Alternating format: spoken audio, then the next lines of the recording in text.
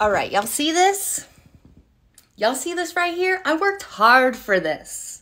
I built this. You don't like it? I don't care.